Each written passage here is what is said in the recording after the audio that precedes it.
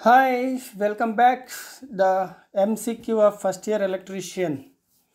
In the previous ಸೆಷನಲ್ಲಿ ನಾವು ಒಂದರಿಂದ ಇಪ್ಪತ್ತೈದು ಕ್ವಶನ್ಗಳನ್ನು ನಾವು ಎಂ ಸಿ ಕ್ಯೂ ಏನು ಮಲ್ಟಿಪಲ್ ಚಾಯ್ಸ್ ಕ್ವಶನ್ಸ್ ಇತ್ತು ಅದಕ್ಕೆ ಆನ್ಸರ್ಗಳನ್ನು ಸಾಲ್ವ್ ಮಾಡ್ತಾ ಬಂದಿದ್ವಿ ಸೊ ಇವತ್ತು ಅದರ ಮುಂದುವರೆದಂತೆ ಇಪ್ಪತ್ತಾರನೇ ಕ್ವಶನಿಂದ ಐವತ್ತನೇ ಕ್ವಶನ್ವರೆಗೆ ಇವತ್ತು ಸಾಲ್ವ್ ಮಾಡ್ತಾ ಹೋಗೋಣ ಬನ್ನಿ ಹಾಗಾದರೆ ತಡ ಯಾಕೆ ನಮಗೆ ಓದಲಿಕ್ಕೆ ಸಮಯ ಕಡಿಮೆ ಇದೆ ಸೊ ಹಾಗಾಗಿ ತಿಳ್ಕೊಳ್ಳೋ ವಿಷಯ ಜಾಸ್ತಿ ಇದೆ.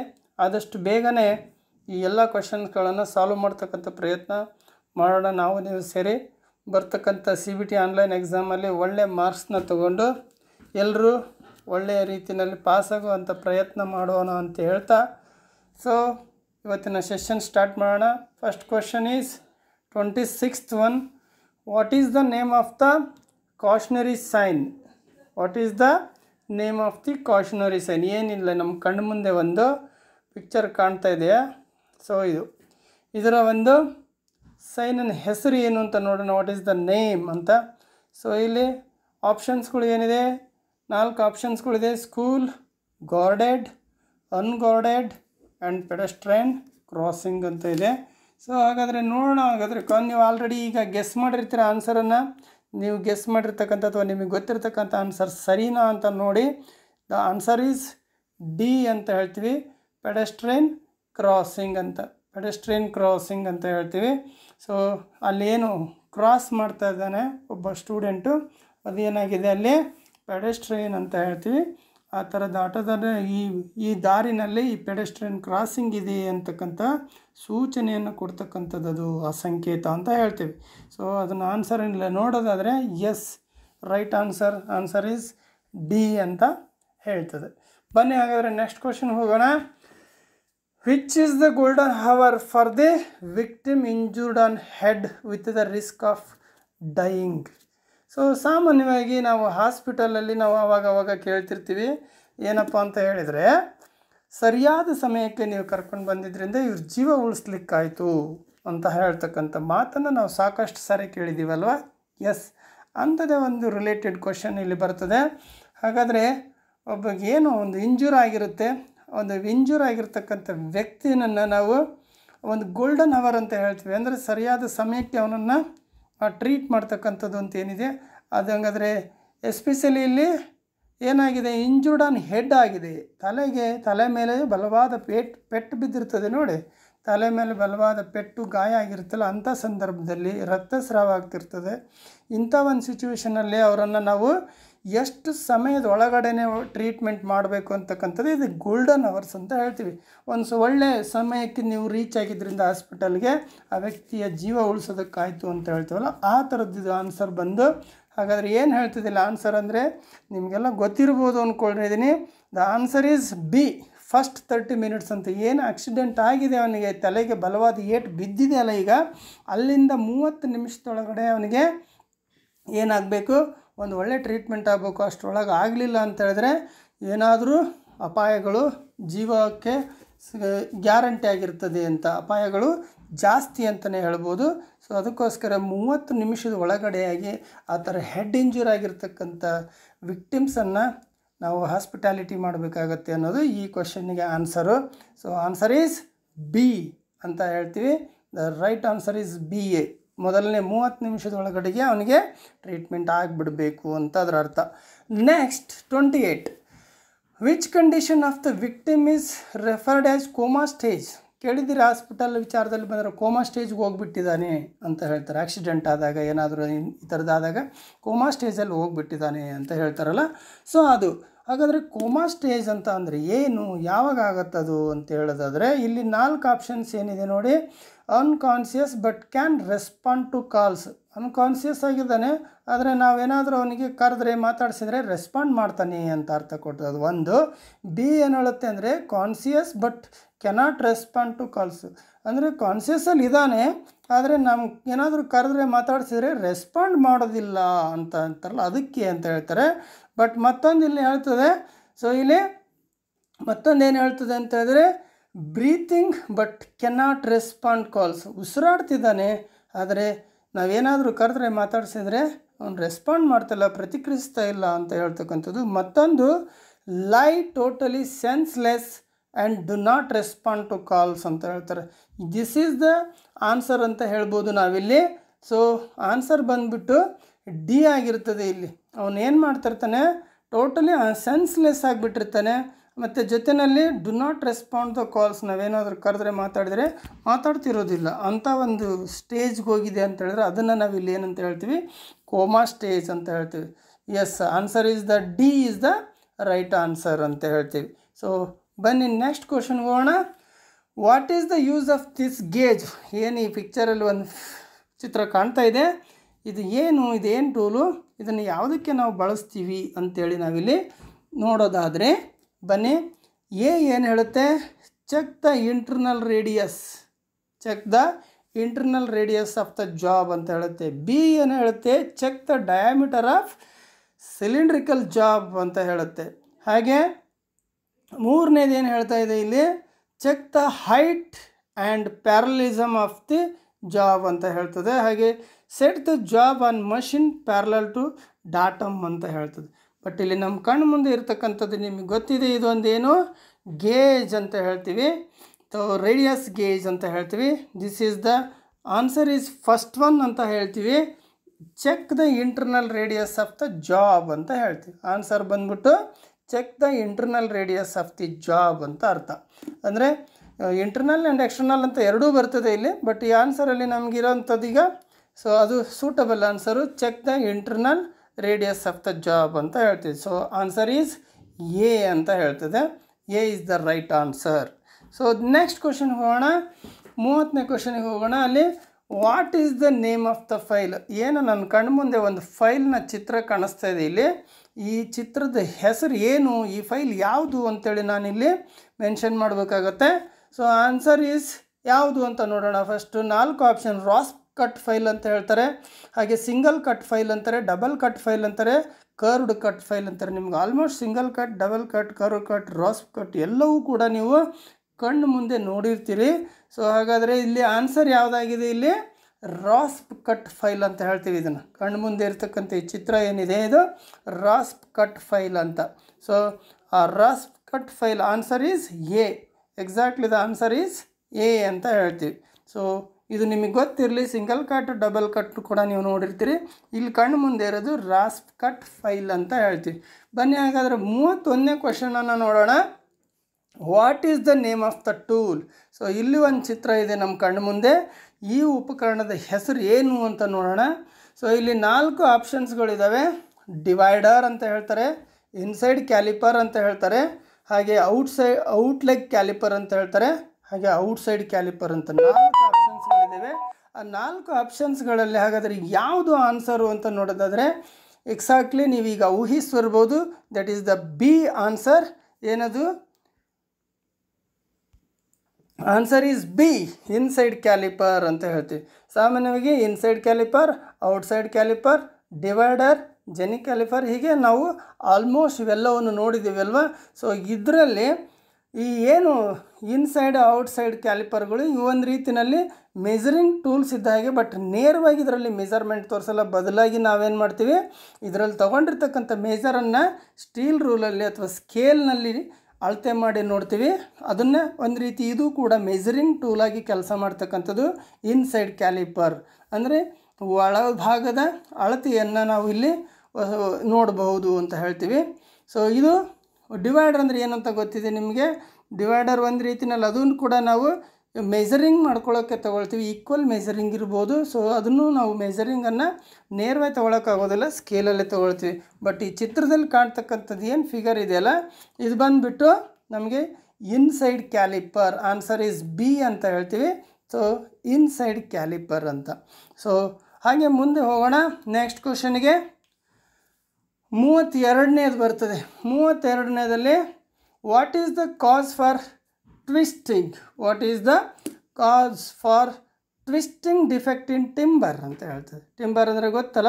ಮರ ವುಡ್ ಸೊ ವುಡ್ನ ಭಾಗ, ಮರದ ಭಾಗಗಳು ಟಿಂಬರ್ಸ್ ಅಂತ ಹೇಳಿದರೆ ಸೊ ಗೊತ್ತಿದೆ ಎಲ್ಲರಿಗೂ ಟಿಂಬರ್ ಬಗ್ಗೆ ಅಂದ್ಕೊಳ್ತೀನಿ ಸೊ ಇಲ್ಲಿ what is the cause for twisting defect in timber twisting ಅಂದರೆ ಹಿಂಗೆ ತಿರ್ಕೊಂಡಂಗೆ ಆಗಿರ್ತವೆ. ಮರದ ಹಲಿಗೆಗಳು ಅಥವಾ ರೀಪರ್ಸ್ ಅಂತ ಏನು ಹೇಳ್ತೀರಿ, ಅವನ್ನ ನೀವು ಸಮ್ಟೈಮ್ಸ್ ನೋಡ್ಬೋದು. ಹಿಂಗೆ ತಿರು ಟ್ವಿಸ್ಟ್ ಮಾಡ್ದಂಗೆ ಆಗಿರ್ತಾವಲ್ವ? ಅದಕ್ಕೆ ಕಾರಣ ಏನು? ಟ್ವಿಸ್ಟ್ ಆದಂಗೆ ಆಗಿರೋದಕ್ಕೆ ರೀಸನ್ ಏನು? ಕಾರಣ ಏನು ಅಂತೇಳಿ ಕ್ವಶನ್ ಬರ್ತದೆ. ಸೊ ಹಾಗಾದರೆ ಇಲ್ಲಿ ಆಪ್ಷ ಆಪ್ಷನ್ಸ್ಗಳೇನಿದೆ ಡಿಫೆಕ್ಟಿವ್ ಸ್ಟೋರೇಜ್ ಅಂದರೆ ಸಂಗ್ರಹ ಮಾಡಿಟ್ಟಿರ್ತಕ್ಕಂಥದ್ದು ಸರಿಯಾಗಿಲ್ಲ, ಸರಿಯಾದ ರೀತಿಯಲ್ಲಿ ಸಂಗ್ರಹ ಮಾಡಿಲ್ಲ ದೋಷ ಮುಕ್ತ ಸಂಗ್ರಹ ಅಂತ ಹೇಳ್ತಾರೆ. ಹಾಗೆ ಅನ್ಇವನ್ ಶ್ರಿಂಕೇಜ್ ಅಂತ ಹೇಳ್ತೀನಿ ಅಸಮ ಕುಗ್ಗುವಿಕೆ ಅಂತ ಹೇಳ್ತೀವಿ. ಅದ್ರ ಜೊತೆಯಲ್ಲಿ improper seasoning so so improper seasoning ಅಂದರೆ ಗೊತ್ತಿದೆ ನಿಮಗೆ? ಒಂದು ಮರ ಯಾವಾಗಲೂ ಗಟ್ಟಿಮುಟ್ಟಾಗಿರಬೇಕು ಅಂತ ಇದ್ದರೆ ಪ್ರಾಪರ್ ಸೀಸನಿಂಗ್ ಆಗಬೇಕು. ಪ್ರಾಪರ್ ಸೀಸನಿಂಗ್ ಅಂದರೆ ಮಳೆಗಾಲ, ಚಳಿಗಾಲ, ಬೇಸಿಗೆ ಕಾಲ ಎಲ್ಲ ಕಾಲನೂ ಇಟ್ಟಾದಮೇಲೆ ಬಳಸಬೇಕು ಅಂತ ಹೇಳ್ತೀವಿ. ಅಂದರೆ ಮೂರು ಕಾಲವನ್ನು ಮರ ತಡ್ಕೋಬೇಕು. ಮಳೆಗಾಲ, ಚಳಿಗಾಲ, ಬೇಸಿಗೆಗಾಲ ಎಲ್ಲವನ್ನು ಆದಮೇಲೆ ಅದನ್ನು ಪ್ರಾಪರ್ ಸೀಸನಿಂಗ್ ಅಂತ ಹೇಳ್ತಾರೆ. ಹಾಗಾಗದೆ ಇರೋದು ಅಂತ ಹೇಳ್ತೀವಿ. ಮತ್ತೊಂದು irregularity in growth of branches ಅಂತ ಹೇಳ್ತಾರೆ. ಅಂದರೆ ಗ್ರೌತ್ ಆಫ್ ಬ್ರಾಂಚಸಸ್ ಕರೆಕ್ಟಾಗಿ ರೆಗ್ಯುಲಾರಿಟಿ ಇರೋದಿಲ್ಲ ಇರ್ರೆಗ್ಯುಲಾರಿಟಿ ಆಗುತ್ತಲ್ಲ ಅಂಥ ಸಂದರ್ಭ ಅಂತ ಹೇಳ್ತಾರೆ. ಹಾಗಾದರೆ ಇಲ್ಲಿ ಏನು ಟ್ವಿಸ್ಟಿಂಗ್ ಡಿಫೆಕ್ಟ್ ಆಗುತ್ತಲ್ಲ, ಇದಕ್ಕೆ ಕಾರಣ ಏನಪ್ಪ ಅಂತ ಹೇಳಿದ್ರೆ, ಅದನ್ನು ಅನ್ಇವನ್ ಸ್ರಿಂಕೇಜ್ ಅಂತ ಹೇಳ್ತೇವೆ. ಅನ್ಇವನ್ ಸ್ರಿಂಕೇಜ್ ಅಂತ ಹೇಳ್ತದೆ. ಸೊ ಅನ್ಇವೆನ್ ಸ್ರಿಂಕೇಜ್ ಆಗೋದು. ಆನ್ಸರ್ ಇಸ್ ಬಿ ಅಂತ ಏನು ಹೇಳ್ತೀವಿ? ಇದು ಅನ್ಇವೆನ್ ಸ್ರಿಂಕೇಜ್ ಬೇರೆದಕ್ಕೆಲ್ಲ ಬೇರೆ ಬೇರೆ ಕಾರಣಗಳಿದ್ದಾವೆ ಅಲ್ಲಿ. ಕೆಲವೊಂದು ಕಪ್ಪಿಂಗ್ ಆಗುವಂಥದ್ದು ಅಂತ ಹೇಳ್ತಾರೆ. ಹಾಗೆ ಕ್ರ್ಯಾಕ್ ಆಗುತ್ತೆ ಮರದಲ್ಲಿ. ಗೊತ್ತು ನಿಮಗೆ? ಆ ಕ್ರ್ಯಾಕಿಂಗ್ ಆಗೋದಕ್ಕೆ ಕಾರಣ ಏನು ಅಂತ ಹೇಳ್ತದೆ. ಸೊ ಹೀಗೆ ಕ್ರ್ಯಾಕಿಂಗ್ ಆಗೋದಕ್ಕೆ ಕಪ್ಪಿಂಗ್ ಆಗೋದಕ್ಕೆ, ಹಾಗೆ ಇಲ್ಲಿ ಟ್ವಿಸ್ಟಿಂಗ್ ಆಗೋದಕ್ಕೆ ಬೇರೆ ಬೇರೆ ರೀಸನ್ಗಳಿದ್ದಾವೆ ಇಲ್ಲಿ ವುಡ್ನಲ್ಲಿ ಅಂತ ಹೇಳ್ತೀವಿ. ಅದನ್ನು ನೋಡೋಣ. ನೆಕ್ಸ್ಟ್ ಮತ್ತೊಂದು ಕ್ವಶನ್ಗೆ ಹೋಗೋಣ. ಕ್ವಶನ್ ನಂಬರ್ ತರ್ಟಿ ತ್ರೀನಲ್ಲಿ ಹೋದರೆ what is the use of the mortise chisel ಅಂತ. Mortise chisel chisels types of ಚೀಸಲ್ಸಲ್ಲಿ ನಮಗೆ ಮಾರ್ಟೈ ಚೀಸಲ್ಸ್ ಅಂತೇಳಿ ನಾವು ನೋಡಿದ್ವಿ. ಈ ಮಾರ್ಟೈ ಚೀಸಲನ್ನು ಏನಕ್ಕೆ ಬಳಕೆ ಮಾಡ್ತೀವಿ ಅಂತ ನೋಡೋದಾದರೆ, ಬನ್ನಿ ನಾಲ್ಕು ಆಪ್ಷನ್ ಏನಿರುತ್ತೆ? General chiseling work in wood ಅಂತ. ಅಂದರೆ ಮರದ ಕೆಲಸದಲ್ಲಿ ಕಾಮನ್ ಆಗಿ ಯೂಸ್ ಮಾಡ್ತಕ್ಕಂಥ, ಸಾಮಾನ್ಯವಾಗಿ ಯೂಸ್ ಮಾಡ್ತಕ್ಕಂಥ ಒಂದು ಚೀಸಲ್ ಇದು ಅಂತ ಹೇಳ್ತೀವಿ, ಮಾರ್ಟೇಜ್ ಚೀಸಲನ್ನು. ಹಾಗೆ ಎರಡನೇ ಆಪ್ಷನ್ ಹೇಳುತ್ತೆ, making rectangular holes in wood ಅಂತ ರೆಕ್ಟಾಂಗುಲರ್ ಹೋಲ್ಸ್ ಇನ್ ವುಡ್ ಅಂತ ಹೇಳ್ತದೆ. ಹಾಗೆಯೇ paring and finishing joints in wood ಅಂತ ಹೇಳ್ತಾರೆ. ಹಾಗೆ light chiseling, cleaning sharp corners and in wood ಅಂತ ಹೇಳ್ತಾರೆ. ಇವು ನಾಲ್ಕು ಆಪ್ಷನಲ್ಲಿ ಹಾಗಾದ್ರೆ ರೈಟ್ ಆನ್ಸರ್ ಯಾವುದು? ಈ ಮಾರ್ಟಿಸ್ ಚೀಸಲ್ನ ಉಪಯೋಗ ಏನಪ್ಪ ಅಂತ ಹೇಳಿದ್ರೆ marking rectangular holes in wood ಅಂತ ಹೇಳ್ತೀವಿ. ಏನು ಮರದಲ್ಲಿ ಅಥವಾ ವುಡ್ ವರ್ಕ್ ಮಾಡಬೇಕಾದ್ರೆ, ಮರದ ಕೆಲಸ ಮಾಡಬೇಕಾದ್ರೆ ರೆಕ್ಟಾಂಗ್ಯುಲರ್ ಮಾರ್ಕಿಂಗ್ ಮಾಡ್ತಾವಲ್ಲ ಹೋಲ್ಸನ್ನ ಅದಕ್ಕೆ ಬಳಸ್ತಕ್ಕಂಥದ್ದೇ ಮಾರ್ಟಿಜ್ ಚೀಸಲ್ ಯಾಕಂದರೆ ಈ ಮಾರ್ಟಿಜ್ ಚೀಸಲ್ನ ಟಿಪ್ ಕೂಡ ಹೆಂಗಿರುತ್ತೆ? ರೆಕ್ಟಾಂಗ್ಯುಲರ್ ಶೇಪಲ್ಲಿ ಇರ್ತದೆ. ಹಾಗಾಗಿ ಆನ್ಸರ್ ಈಸ್ ನಮಗೆ ಬಿ ಆಗಿದೆ. So B is the right answer ಅಂತ ಹೇಳ್ತೀವಿ ಇಲ್ಲಿ. ಸೊ ಇದು ನಮಗೆ ಗೊತ್ತಿರಬೇಕು. Mortise ಚೀಸಲನ್ನು rectangular holes marking rectangular holes in wood ಅಂತ ಹೇಳ್ತೀವಿ. ನೆಕ್ಸ್ಟ್ ಬನ್ನಿ ಹಾಗಾದರೆ ಮೂವತ್ತ್ನಾಲ್ಕನೇ ಕ್ವಶನ್ ಹೋಗೋಣ. Which type of stake is used for sharp bends in sheet metal sheet metal work ಅಂತ ಕೇಳಿದ್ದೀವಿ ತಗಡು ಅಂತ ಏನು ಹೇಳ್ತೀರಿ? ಆ ಥರದ್ದು ಸೀಟ್ ಮೆಟಲ್ ವರ್ಕನ್ನು ನಾವಿಲ್ಲಿ ನೋಡೋದಿರ್ತದೆ. Which type of which type of stake is used for sharp bends in sheet metal sharp bends ಅಂದ್ರೆ ನೋಡಿ ನಾವು ಶೀಟ್ ಮೆಟಲನ್ನು ತಗೊಂಡು ಬಾಕ್ಸ್ಗಳನ್ನು ಮಾಡ್ತೀವಿ ರ್ಯಾಕ್ಗಳನ್ನು ಮಾಡ್ತೀವಿ. ಏನೇನೆಲ್ಲ ಸೀಟ್ ಮೆಟಲ್ ತಗಡಿನಲ್ಲಿ ಏನೇನೆಲ್ಲ ಮ್ಯಾನುಫ್ಯಾಕ್ಚರ್ ಮಾಡಿರ್ತಾರೆ, ಏನೇನೆಲ್ಲ ರೆಡಿ ಆಗಿರ್ತವೆ ಅನ್ನೋದು ನೀವು ದಿನ ಬಳಕೆ ವಸ್ತುಗಳಲ್ಲೇ ಎಷ್ಟೋ ಸೀಟ್ ಮೆಟಲ್ ವರ್ಕ್ ಪ್ರಾಡಕ್ಟ್ಗಳನ್ನು ದಿನನಿತ್ಯ ಬಳಸ್ತೀವಿ ನಾವು, ಗೊತ್ತಾಗುತ್ತೆ ನಮಗೆ. ಸೊ ಅಂಥ ಒಂದು ವರ್ಕ್ನಲ್ಲಿ ಈ ಒಂದು which type of stake is used for the sharp bend in sheet metal stake ಅಂತ ಹೇಳಿದ್ರೆ ಏನಪ್ಪ ಅಂದರೆ ಈ ಸೀಟ್ ಮೆಟಲನ್ನು ಬೇರೆ ಬೇರೆ ಆಕಾರಕ್ಕೆ ಬೆಂಡ್ ಮಾಡೋದಿರ್ಬೋದು, ಆಕ ಬೇರೆ ಬೇರೆ ಆಕಾರಕ್ಕೆ ಅದನ್ನು ಆಕಾರಗೊಳಿಸೋದಿರ್ಬೋದು, ಈ ಈ ಥರದಕ್ಕೆಲ್ಲ ಏನು ಬಳಸ್ತೀವಿ ನಾವು? ಅವುಗಳನ್ನು ಸ್ಟೇಕ್ ಅಂತೇಳಿ ಇಲ್ಲಿ ಡಿಫ್ರೆಂಟ್ ಟೈಪ್ಸ್ ಆಫ್ ಸ್ಟೇಕ್ಗಳನ್ನು ಈ ಸೀಟ್ ಮೆಟಲ್ ವರ್ಕಿಗೆ ಡಿಫ್ರೆಂಟ್ ಥರ ಶೇಪ್ಗಳನ್ನು ಮಾಡೋದಕ್ಕೆ ಬಳಸ್ತಕ್ಕಂಥ ಸ್ಟೇಕ್ಗಳು ಸೊ ಅಂಥದ್ರಲ್ಲಿ ಮೂವತ್ತ್ನಾಲ್ಕನೇ ಕ್ವಶನ್ಗೆ ಇವಾಗ ನಮ್ಗೆ ಆನ್ಸರ್ ಏನಂತ ನೋಡೋಕೆ ಹೊರಡೋಣ. ಇಲ್ಲಿ ಸ್ಕ್ವೇರ್ ಟ್ಯಾಕ್ ಅಂತ ಇದೆ, ಮತ್ತೊಂದು ಹ್ಯಾಚೆಟ್ ಸ್ಟ್ಯಾಕ್ ಅಂತ ಇದೆ blow horn stake and bevel edge square stake ಇವೆಲ್ಲವೂ ಕೂಡ ಟೈಪ್ಸ್ ಆಫ್ ಸ್ಟ್ಯಾಕ್ಗಳೇ ಬಟ್ ಇಲ್ಲಿ ನಮಗೆ ಬೇಕಾಗಿರೋದು ಏನಂದರೆ, ಶ ಯೂಸ್ಡ್ ಫಾರ್ ಶಾರ್ಪ್ ಬೆಂಡ್ಸ್ ಅಂತ ಹೇಳ್ತದೆ. ಯೂಸ್ಡ್ ಫಾರ್ ಶಾರ್ಪ್ ಬೆಂಡ್ಸ್ ಅಂತ ಹೇಳಿದರೆ that is the answer is hatchet stake ಅಂತ ಹೇಳ್ತೀವಿ. ಹ್ಯಾಚೆಟ್ ಸ್ಟ್ಯಾಕನ್ನು ತೊಗೊಂಡ್ರೆ ಮಾತ್ರ ನಾವು ಈ ಶಾರ್ಪ್ ಎಡ್ಜಲ್ಲಿ ಬೆಂಡ್ ಮಾಡ್ಬೋದು. ಪಕ್ಕ ಏನು ಮಾಡ್ತೀವಿ? ಅದನ್ನು ಬೆಂಡಿಂಗಿಗೆ ಶಾರ್ಪ್ ಎಡ್ಜ್ ಬೆಂಡಿಂಗಿಗೆ ನಾವು ಹ್ಯಾಚೆಟ್ ಇದನ್ನು ತೊಗೋಬೋದು. ಈ ಬ್ಲೋ ಹಾರ್ನ್ ಅಂತ ಬರುತ್ತೆ. ಈ ಬ್ಲೋ ಹಾರ್ನ್ ಅಂದರೆ ಏನು? ಈ ಕೋನ್ ಶೇಪಲ್ಲಿ ಈ ಸೀಟನ್ನು, ಅಂದರೆ ತಗಡನ್ನು ಕೋನ್ ಶೇಪ್ ಆಕಾರ ಮಾಡೋದಿರ್ಬೋದು. ಬೇರೆ ಬೇರೆ ರೀತಿಯಲ್ಲಿ ಆಕಾರ ಮಾಡಲಿಕ್ಕೆಲ್ಲ ಇರ್ತದೆ. ಆ ಥರದ ಕೆಲಸಕ್ಕೆ ಬೇರೆ ಬೇರೆ ತಕ್ಕಂಥ ಸ್ಟ್ಯಾಕ್ಗಳನ್ನು ಇಲ್ಲಿ ಬಳಸ್ತದೆ. ಸೊ ಇಲ್ಲಿ ಆನ್ಸರ್ ಬಂದುಬಿಟ್ಟು ಆನ್ಸರ್ ಈಸ್ ಬಿ ಅಂತ ಹೇಳ್ತೀವಿ. ದ ಆನ್ಸರ್ ಈಸ್ ಬಿ ಹಾಗಾದ್ರೆ ಬನ್ನಿ ನೆಕ್ಸ್ಟ್ ಕ್ವಶನ್ಗೆ ಹೋಗೋಣ. ಮೂವತ್ತೈದನೇ ಕ್ವಶನ್ ಏನು ಅಂತ ನೋಡೋಣ. Which type of cold chisel is used for squaring materials at the corners ಮೆಟೀರಿಯಲ್ಗಳನ್ನ ಕಾರ್ನರ್ಸಲ್ಲಿ ಸ್ಕ್ವೇರಿಂಗ್ ಮಾಡೋದಕ್ಕೆ ಯಾವ ಥರದ ಕೋಲ್ಡ್ ಚೀಸಲನ್ನು ನಾವು ಬಳಸ್ತೀವಿ ಅಂತ. ಮೂಲೆಗಳಲ್ಲಿ ವಸ್ತುಗಳನ್ನು ವರ್ಗಗೊಳಿಸಲು ಯಾವ ವಿಧದ ಶೀತ ಉಳಿಗೆಯನ್ನು ಬಳಸ, ಕೋಲ್ಡ್ ಚೀಸಲ್ ಅಂತ ಇಲ್ಲಿ ಹೆಸರೇ ಹೇಳ್ತದೆ. ಕೋಲ್ಡ್ ಚೀಸಲ್ ಮೀನ್ಸ್, ನಿಮ್ಗೆ ಆಲ್ರೆಡಿ ಗೊತ್ತಿದೆ ಅಂದ್ಕೊಳ್ತೀನಿ ತಿಳ್ಕೊಂಡಿದ್ದೀರಾ ಅಂದ್ಕೊಳ್ತೀನಿ ಕೋಲ್ಡ್ ಚಿಸಲ್ ಅಂದರೆ ಕಬ್ಬಿಣಗಳಲ್ಲಿ ಅಂದರೆ ಮೆಟಾಲ್ಗಳಲ್ಲಿ ವರ್ಕ್ ಮಾಡ್ತಕ್ಕಂಥ ಒಂದು, ಇದು ಚಿಸಲಿಂಗ್ ಅಂದರೆ ಇದನ್ನು ಮೆಟಾಲನ್ನೇ ಕೆತ್ತೋದು. ಈಗ ವುಡ್ ವುಡ್ ಚೀಸಲ್, ಫೆರ್ಮರ್ ಚೀಸಲಲ್ಲಿ ಮರಗಳನ್ನು ಕೇಳ್ತೀವಿ ನಾವು. ಮರ, ಮರಗಳನ್ನು ಕೆತ್ತೋದಕ್ಕೆ ಬಳಸ್ತೀವಿ. ಆದರೆ ಮೆಟಾಲ್ಗಳನ್ನು ಕೆತ್ತೋದಕ್ಕೆ ನಾವು ಈ ಕೋಲ್ಡ್ ಚೀಸಲ್ನಲ್ಲಿ ಏನಾಗುತ್ತೆ ಅಂತ ಹೇಳಿದರೆ ಈ ಮ, ಇದರಲ್ಲಿ ಎಸ್ಪೆಷಲಿ ಏನು ಇಲ್ಲಿ ಹೇಳ್ತಾ ಇರೋದು which type of cold ಚೀಸಲ್ಲಿ use used for squaring the material square ಮಾಡೋದಕ್ಕೆ ಬಳಸ್ತಕ್ಕಂಥದ್ದು ಯಾವುದು ಅಂತ ಬರ್ತದೆ.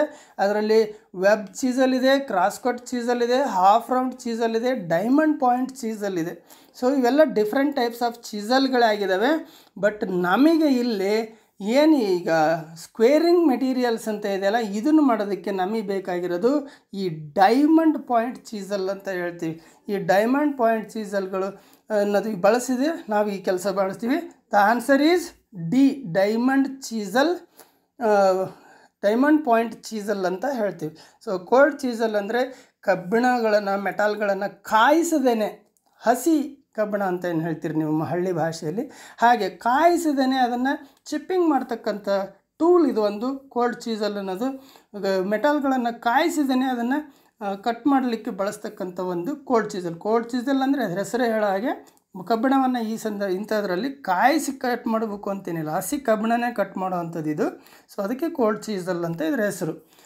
ಬನ್ನಿ ಹಾಗಾದರೆ ಮೂವತ್ತಾರನೇ ಕ್ವಶನನ್ನು ನೋಡೋದನ್ನು which type of caliper is used to draw parallel lines along the outer edges of the materials calipers ಈಗ ಹೇಳಿದೆ ನಾನು.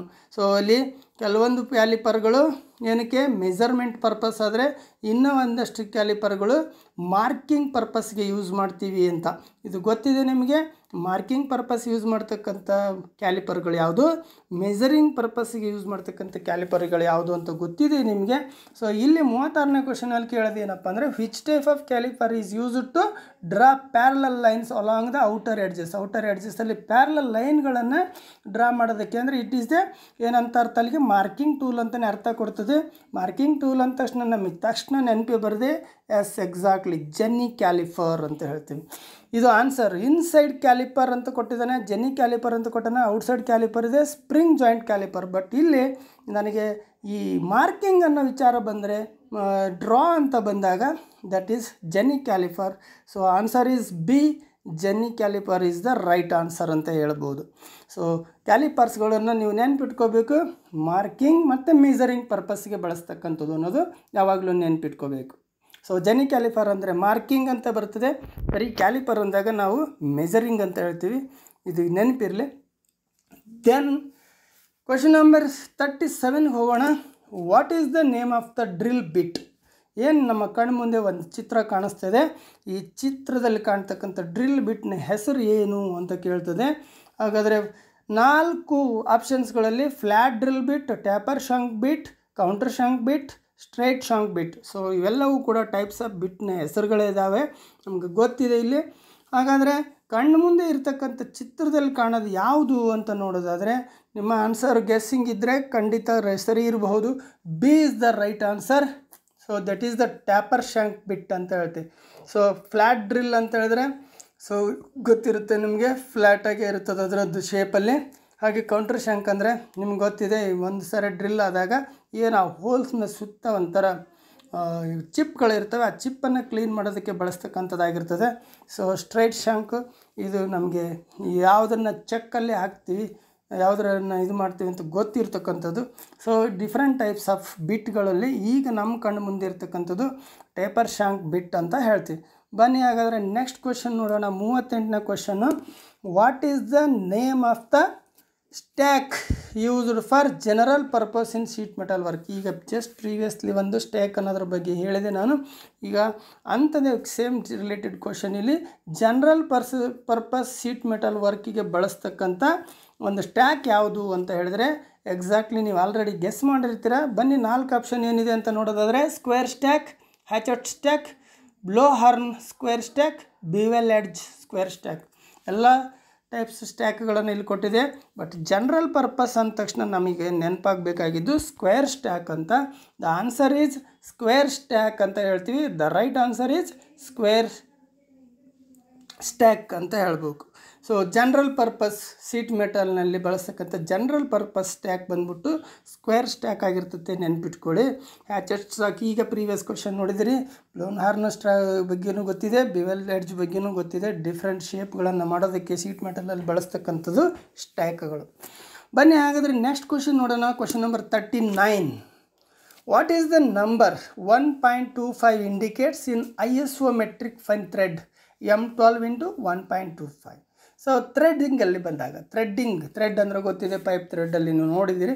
ಸೊ ಆ ಥ್ರೆಡ್ ಮಾಡೋ ವಿಚಾರದಲ್ಲಿ ಬಂದಾಗ, ಅಲ್ಲಿ ನನಗೆ ಒಂದು ವಿಷಯ ಬರ್ತದೆ I S O metric fine thread M twelve into one point two five ಈ ರೀತಿ ಒಂದು ಡೆಫಿನೇಷನನ್ನು ಮಾಡೋದು ಅಂತ ಬರ್ತದೆ. ಈ ಡೆಫಿನೇಷನ್ ಏನು ಮಾಡ್ತೀವಿ? ಎಂ ಟ್ವೆಲ್ವ್ ಅಂತ ಏನು ಹೇಳ್ತೀವಿ? ಈ ಎಂ ಟ್ವೆಲ್ವ್ ಥ್ರೆಡ್ಡಿಂಗ್ಸಲ್ಲಿ ಈ ಒನ್ ಪಾಯಿಂಟ್ ಟೂ ಫೈವ್ ಅನ್ನೋ ನಂಬರ್ ಇದೆಯಲ್ಲ, ಅದು ಏನನ್ನು ಸೂಚಿಸ್ತದೆ ಅಂತ ಅರ್ಥ. ಒನ್ ಪಾಯಿಂಟ್ ಟೂ ಫೈವ್ ಅನ್ನೋದು ಏನನ್ನು ಸೂಚಿಸ್ತದೆ ಈ ಥ್ರೆಡ್ಡಲ್ಲಿ ಅಂತ ಹೇಳ್ತದೆ. ಹಾಗಾದರೆ ಏನನ್ನು ಸೂಚಿಸುತ್ತೆ? ನಾಲ್ಕು ಆಪ್ಷನ್ಸ್ಗಳು ಇಲ್ಲಿದ್ದಾವೆ ಏನಪ್ಪ ಅಂತ ಹೇಳಿದರೆ, ಒಂದು ಡಯಾಮೀಟರ್ ಆಫ್ ದಿ ಥ್ರೆಡ್ ಅಂತ ಹೇಳ್ತದೆ. ಎರಡನೇದು ಪಿಚ್ ಆಫ್ ದಿ ಥ್ರೆಡ್ ಅಂತದೆ. ಡೆಪ್ತ್ ಆಫ್ ದಿ ಥ್ರೆಡ್ ಇದೆ ಲೆಂತ್ ಆಫ್ ದ ಥ್ರೆಡ್ ಇದೆ. ಈ ನಾಲ್ಕು ಆಪ್ಷನ್ಸ್ನಲ್ಲಿ ಹಾಗಾದರೆ ಈ one point two five indicate ಮಾಡೋದು ಏನು ಅಂತ ನೋಡ್ರಿ.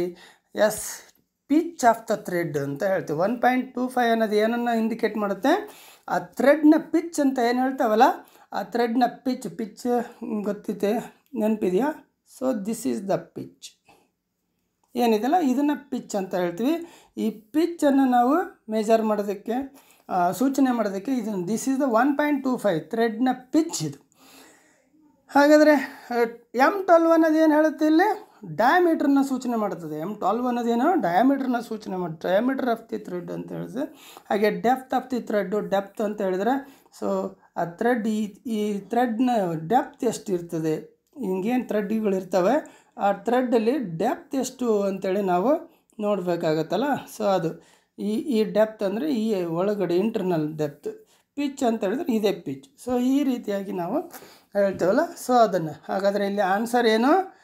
ಇಲ್ಲಿ one point two five indicate ಮಾಡ್ತಕ್ಕಂಥದ್ದು ಪಿಚ್ ಆಫ್ ದ ಥ್ರೆಡ್ ಅಂತ ಹೇಳ್ತೀವಿ. The pitch of the thread B answer is the right answer ಬನ್ನಿ ನೆಕ್ಸ್ಟ್ ಕ್ವಶನ್ ಫಾರ್ಟಿಗೆ ಹೋಗೋಣ. What defect will occur in timber due to irregularity in growth of the branches ನಾನು wood ಬಗ್ಗೆ ಈಗ ಹೇಳಿದೆ. ಅಲ್ಲಿ ಗ್ರೌತಲ್ಲಿ ಇರ್ರೆಗ್ಯುಲಾರಿಟಿ ಆದರೆ ಅಲ್ಲಿ ಏನು ಒಂದು ಡಿಫೆಕ್ಟ್ ಆಗುತ್ತೆ ವುಡ್ಡಲ್ಲಿ ಅಂತೇಳ್ಬಿಟ್ಟು ವುಡ್ಡಲ್ಲಿ ಆಗ್ತಕ್ಕಂಥ ಡಿಫೆಕ್ಟ್ ಏನು ಇರ್ರೆಗ್ಯುಲಾರಿಟಿ ಗ್ರೋತ್ ಆದರೆ ಅಂತೇಳಿ ಕ್ವಶನ್ ಬರುತ್ತೆ. ಹಾಗಾದರೆ ಏನಿದೆ ಇಲ್ಲಿ ನೋಡೋಣ, ಹಾಗಾದರೆ ನಾಟ್ ಆಗುತ್ತೆ ಅಂತ ಹೇಳಿದ್ರೆ ಗಂಟಾಗೋದು, ಮರದಲ್ಲಿ ಗಂಟಾಗೋದು ಅಂತ ನೀವು ಹಳ್ಳಿ ಭಾಷೆಯಲ್ಲಿ ಕೇಳಿರ್ತಾರಲ್ಲ ಎಸ್ ಎಕ್ಸಾಕ್ಟ್ಲಿ ಅದೇನೇ, ಗಂಟಾಗಿರುತ್ತೆ, ಮರದಲ್ಲಿ ಗಂಟಿದೆ ಅಂತ ಹೇಳ್ತಾರೆ. ಗಂಟಿದ್ರೆ ಇಲ್ಲ, ಅದು ಬಾಳಿಕೆ ಬರೋದಿಲ್ಲ, ಅದಕ್ಕೆ ಇದು ಇರೋಲ್ಲ ಸ್ಟ್ರೆಂತನ್ ಇರಲ್ಲ ಅಂತ ಎಲ್ಲ ಮಾತಾಡ್ತಿರ್ತಾರೆ ಕಾರ್ಪೆಂಟ್ ವರ್ಕ್ ಮಾಡಬೇಕಾದ್ರೆ. ಎಸ್ ಎಕ್ಸಾಕ್ಟ್ಲಿ ಅದೇ. ಈ ನಾಟ್ ಗಂಟು ಅಂತ ಮರದಲ್ಲಿ ಆಗಿರ್ತಕ್ಕಂಥ ಗಂಟು ಅಂತ ಹೇಳ್ತೀವಲ್ಲ, ಅದು ಇನ್ನು ಕಪ್ಪಿಂಗ್ ಅಂತ ಹೇಳ್ತೀವಿ. ಕಪ್ಪಿಂಗ್ ಅಂತ ಹೇಳಿದ್ರೆ ಮರದ ಹಲಿಗೆಗಳು ಒಂದು ರೀತಿಯಲ್ಲಿ ಈ ರೌಂಡ್ ಸೆಪ್ಪಿ ಬೆಂಡ್ ಆಗಿಬಿಡ್ತವೆ, ಕಪ್ಪಿಂಗ್ ಆಗ್ತವೆ. ಕ್ರ್ಯಾಕಿಂಗ್ ಅಂದರೆ ಮರದಲ್ಲಿ ಕ್ರ್ಯಾಕ್ ಬಿಡೋದು, ಗೆರೆ ಗೆರೆ ಆಗೋದು, ಸೀಳು ಬಿಡೋದು ಅಂತ ಹೇಳ್ತಿರಲ್ಲ, ಅದು ಕ್ರ್ಯಾಕಿಂಗ್ ಟ್ವಿಸ್ಟಿಂಗ್ ಅಂದರೆ ಅದೇ ಹೇಳಿದ್ದೆ, ಆವಾಗಲೇ ನಿಮಗೆ ಹಿಂಗೆ ಟ್ವಿಸ್ಟ್ ಆದಂಗೆ ಆಗಿಬಿಟ್ಟಿರ್ತವೆ ಮರದ ಹಲಿಗೆಗಳು ರೀಪಿರ್ಸ್ಗಳು ಅದು. ಸೊ ಇಲ್ಲಿ ಆನ್ಸರ್ ಬಂದುಬಿಟ್ಟು ಈ ಇರ್ರೆಗ್ಯುಲರಿಟಿ ಗ್ರೋತಿಂಗ್ ಆದಾಗ ಏನಾಗುತ್ತೆ ಅಂದರೆ ಇಲ್ಲಿ ನಾಟ್ ಆಗುತ್ತೆ ಅಂತ, ಗಂಟಾಗೋದು ಅಂತ ಹೇಳ್ತೀವಿ. So this this is the answer knot ಅಂತ. ಅಂದರೆ irregularity in the growth of the branches ಆದಾಗ ನಾಟ್ ಆಗೋದಕ್ಕೆ ಕಾರಣ ಆಗೋದು ಅದೇ ಕಾರಣಕ್ಕೆ, ಮರದಲ್ಲಿ ಗಂಟಾಗೋದಕ್ಕೆ ಈ ಇರ್ರೆಗ್ಯುಲಾರಿಟಿನ ಗ್ರೌತ್ ಅಂತ ಹೇಳ್ತೀವಿ. ಸೊ ನೆಕ್ಸ್ಟ್ ಕ್ವಶನ್ ಏನು? ಫಾರ್ಟಿ ಒನ್ಗೆ ಹೋಗೋಣ. Which file is used for sharpening the blunt teeth of a tenon saw file ಅಂತ ಹೇಳಿದರೆ ಇಲ್ಲಿ ಏನು ನಾವು ಮೆಟಾಲ್ಗಳನ್ನು ಉಜ್ಜೋದಕ್ಕೆ ಬಳಸ್ತಕ್ಕಂಥ ಟೂಲ್ ಇದಾವಲ್ಲ, ಆ ಫೈಲು ಸೊ ಈ ಫೈಲ್ಗಳು ಯಾವ ಥರದ ಫೈಲನ್ನು ನಾವು ಈ ಟೆನನ್ಸ ಏನು ಮರದ, ಮರ ಕಟ್ ಮಾಡೋದಕ್ಕೆ ಏನು ಬಳಸ್ತೀವಿ ವುಡ್ ಕಟ್ ಮಾಡೋದಕ್ಕೆ ಟೆನನ್ಸ ಅಂತೇಳಿ ಅದರ ಟೀತ್ ಹಲ್ಲುಗಳನ್ನು ನಾವು ಶಾರ್ಪನಿಂಗ್ ಮಾಡ್ಕೊಳ್ಳೋದಕ್ಕೆ ಒಂದು ಫೈಲನ್ನು ಬಳಸ್ತೀವಿ. ಅಂಥ ಒಂದು ಫೈಲ್ ಇಲ್ಲಿ ಯಾವುದು ಅಂತೇಳಿಬಿಟ್ಟು ಆನ್ಸರ್ ಹೇಳಬೇಕು. ಇಲ್ಲಿ ನಾಲ್ಕು ಆಪ್ಷನಲ್ಲಿ ಸ್ಕ್ವೇರ್ ಫೈಲ್ ಇದೆ ರೌಂಡ್ ಫೈಲ್ ಇದೆ ರೆಕ್ಟಾಂಗುಲರ್ ಫೈಲ್ ಇದೆ ಹಾಫ್ ರೌಂಡ್ ಫೈಲ್ ನಿಮಗೆ ಸ್ಕ್ವೇರ್ ಫೈಲು ಗೊತ್ತು? ರೌಂಡ್ ಫೈಲ್ ಏನಕ್ಕೆ ಯೂಸ್ ಆಗುತ್ತೆ ಗೊತ್ತು? ಟ್ರಯಾಂಗ್ಯುಲರ್ ಫೈಲು ಗೊತ್ತು, ಹಾಗೆ ಹಾಫ್ ರೌಂಡ್ ಫೈಲ್ ಎಲ್ಲಿ ಯೂಸ್ ಆಗುತ್ತೆ ಅಂತಲೂ ಗೊತ್ತು. So very simple answer already ನೀವು ಗೆಸ್ ಮಾಡಿರ್ತೀರ ಅಂದ್ಕೊಂಡ್ರೆ ಎಸ್ ಎಕ್ಸಾಕ್ಟ್ಲಿ ಟ್ರಯಾಂಗ್ಯುಲರ್ ಫೈಲನ್ನು ನಾವಿಲ್ಲಿ ಈ ಟೆನನ್ಸ ಟೀತ್ಗಳನ್ನು ಶಾರ್ಪ್ ಮಾಡೋದಕ್ಕೆ ಬಳಸ್ತಕ್ಕಂಥದ್ದು. So answer is C triangular file ಅಂತ ಹೇಳ್ತೀವಿ. ಟ್ರಯಾಂಗ್ಯುಲರ್ ಫೈಲನ್ನು ತೊಗೊಂಡು ನಾವು ಈ ಮರವನ್ನು ಕಟ್ ಮಾಡ್ತಕ್ಕಂಥ ಟೆನನ್ಸ ಏನಿದೆ ಅದರ ಟೀತ್ಗಳನ್ನು ಹಲ್ಲುಗಳನ್ನು ಶಾರ್ಪ್ ಮಾಡೋದಕ್ಕೆ ಬಳಸ್ತೀವಿ. ಬನ್ನಿ ಹಾಗಾದರೆ ನೆಕ್ಸ್ಟ್ ಕ್ವಶನ್ ನಲವತ್ತೆರಡನೇ ಕ್ವಶನ್ಗೆ ಹೋಗೋಣ. Name the part marked X of the file name the part marked X of the file ಏನು ಈಗ ಹೇಳಿದೆ ಜಸ್ಟ್ ಬಿಫೋರ್ ಕ್ಲಾಸಲ್ಲಿ ಫೈಲ್ ಬಗ್ಗೆನೇ ಆ ಕ್ವಶನ್ ಇತ್ತಲ್ಲ. ಸೊ ಇಲ್ಲಿ ಒಂದು ಚಿತ್ರ ಇದೆ ಫೈಲಿಂದು ಈ ಚಿತ್ರದಲ್ಲಿ ಏನು ಎಕ್ಸ್ ಅಂತ ಮಾರ್ಕ್ ಮಾಡಿದೆಯಾ, ಅದರ ಭಾಗದ ಹೆಸರನ್ನು ನಾವಿಲ್ಲಿ ಹೇಳಬೇಕಾಗತ್ತೆ. ಆ ಭಾಗದ ಹೆಸರು ಅಂದರೆ ಈಗ ಪಾರ್ಟ್ಸ್ ಆಫ್ ದಿ ಫೈಲ್ ಎಲ್ಲ ನಮಗೆ ಗೊತ್ತಿದೆ. ಗೊತ್ತಿತ್ತು ಅಂದರೆ ಖಂಡಿತ ಇದಕ್ಕೆ ಹೆಸರು ಮಾಡಿ ಹೇಳೋದಕ್ಕೆ ನಮಗೆ ಸುಲಭ ಇದೆ. ಇಲ್ಲಿ ನಾಲ್ಕು ಆಪ್ಷನ್ನಲ್ಲಿ ಎಡ್ಜ್ ಅಂತ ಇದೆ ಹೀಲ್ ಅಂತ ಇದೆ ಟ್ಯಾಂಗ್ ಇದೆ ಶೋಲ್ಡರ್ ಇದೆ. ಸೊ ನಿಮಗೆ ಇದರಲ್ಲಿ ನಾಲ್ಕು ಭಾಗಗಳು ಗೊತ್ತಿರಬೇಕಾಗತ್ತೆ. ಇಲ್ಲಿ ಈ ಒಂದು ಕ್ವಶನಲ್ಲಿ ಇರ್ತಕ್ಕಂಥ ಆನ್ಸರ್ ಏನಪ್ಪ ಅಂತ ಹೇಳಿದ್ರೆ, ಇದನ್ನು ನಾವು ಹೀಲ್ ಅಂತ ಹೇಳ್ತೀವಿ. ಆನ್ಸರ್ ಹೀಲ್ ಅಂತ. Heel answer B is heel ಅಂತ ಹೇಳ್ತೀವಿ. ಹಾಗಾದರೆ ಎಡ್ಜ್ ಅಂದರೆ ಯಾವುದು? ಎಡ್ಜ್ ಅಂದರೆ ಎಲ್ಲಿ ಬರ್ತದೆ ಅಂತೇಳಿ ನಾವು ನೋಡೋದಾದರೆ ಸೊ ನೋಡಿ. ಈಗ ಈ ಈ ಶಾರ್ಪ್ ಎಡ್ಜ್ ಇದು ಎಡ್ಜ್ ಅಂತ ಹೇಳ್ತೀವಿ ನಾವು ಇದನ್ನು. ಆಮೇಲೆ ಹೀಲ್ ಅಂದರೆ ಈ ಕಣ್ಣು ಮುಂದೆ ಏನು ಎಕ್ಸ್ ಮಾರ್ಕ್ ಮಾಡಿದೆ, ಅದು ಹೀಲ್ ಆಗುತ್ತೆ. ಟ್ಯಾಂಗ್ ಅಂತ ಹೇಳಿದರೆ ನೋಡಿ, ಇಲ್ಲಿ ಹಿಂದ್ಗಡೆ ಇದೆಯಲ್ಲ ಶಾರ್ಪ್ ಅಂದರೆ ಈ ಈ ಈ ಭಾಗ ಶಾರ್ಪ್ ಅದನ್ನು ನಾವು ಟ್ಯಾಂಗ್ ಅಂತ ಹೇಳ್ತೀವಿ. ಹಾಗೆ ಶೋಲ್ಡರ್ ಅಂತ ಹೇಳಿದ್ರೆ ಈ ಕಾರ್ನರ್ ಇದೆಯಲ್ಲ ಈ ಕಾರ್ನರನ್ನು ಶೋಲ್ಡರ್ ಅಂತ ಹೇಳ್ತೀವಿ. ಸೊ ಗೊತ್ತಿದೆ ನಮಗೆ? ಸೊ ಹಾಗಾದರೆ ಇಲ್ಲಿ ಈಗ ಎಡ್ಜ್ ಅಂದ್ರೇನು ಹೀಲ್ ಅಂದ್ರೇನು ಟ್ಯಾಂಗ್ ಅಂದ್ರೇನು ಶೋಲ್ಡರ್ ಅಂದ್ರೇನು ಹ್ಯಾಂಡಲ್ ಅಂದ್ರೇನು ಟಿಪ್ ಅಂದ್ರೇನು ಫೇಸ್ ಅಂದರೆ ಇವೆಲ್ಲವೂ ಗೊತ್ತಿತ್ತು ಅಂತ ಹೇಳಿದ್ರೆ ನಮಗೆ ಈ ಎಕ್ಸ್ ಅಂತ ಮಾರ್ಕ್ ಮಾಡಿದ್ದು ಹೀಲ್ ಅನ್ನೋದು ಗೊತ್ತಾಗುತ್ತೆ. ಬನ್ನಿ ಹಾಗಾದ್ರೆ ನೆಕ್ಸ್ಟ್ ಕ್ವಶನ್ಗೆ ಹೋಗೋಣ. ನಲ್ವತ್ತ್ಮೂರನೇ ಕ್ವಶನ್ಗೆ what is the name of the tool ಈಗ ಮತ್ತೆ ಒಂದ್ಸಿಗೆ ನಾವು ಕ್ಯಾಲಿಪರ್ ಸೆಷನ್ಗೆ ಬರ್ತೀವಿ. ಮತ್ತೆ ಕ್ವಶನ್ನು ಸೊ ಇಲ್ಲಿ ಏನಿದೆ ಅಂತ ಹೇಳಿದ್ರೆ what is the name of the tool ಏನು ಈ ಚಿತ್ರದಲ್ಲಿ ಕಾಣ್ತಿದೆ? ಈ ಟೂಲ್ನ ಹೆಸರು ಏನಿದು ಅಂತ ಹೇಳ್ತಾರೆ. ಸೊ ಈ ಟೂಲ್ನ ಹೆಸರು ಎಸ್ ಈ ಹಿಂದಿನ ಕ್ಲಾಸಲ್ಲಿ ನಾವು ಏನು ಡಿಸ್ಕಸ್ ಈ ಹಿಂದಿನ ಕ್ವಶನಲ್ಲಿ ಏನು ಡಿಸ್ಕಷನ್ ಆಗಿತ್ತು? ಪ್ರೀವಿಯಸ್ಲಿ ಒಂದು ಕ್ವಶನಲ್ಲಿ ಅದೇ ಇಲ್ಲಿಗೆ jenny caliper inside caliper outside caliper firm joint caliper ಅಂತ ನಾಲ್ಕು ಆಪ್ಷನ್ ಕೊಟ್ಟಿದ್ದಾರೆ. ಬಟ್ ಇಲ್ಲಿರ್ತದೆ, ನಿಮ್ಮ ಗೆಸ್ ಸರಿಯಾಗಿದೆ ಜೆನ್ನಿ ಕ್ಯಾಲಿಫರ್ ಅಂತ ಹೇಳ್ತೀವಿ. Jenny calliper it is the marking tool ಅಂತ ಹೇಳ್ತೀವಿ.